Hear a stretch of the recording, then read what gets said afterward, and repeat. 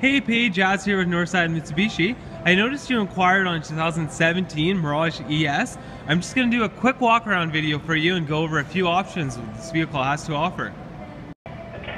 So as you can see, you do get the redesigned front end. It's a 1.2 liter engine. Also, you're going to get a block heater and free winter tires with this car right now. So it is fully equipped for the winter time here in Alberta.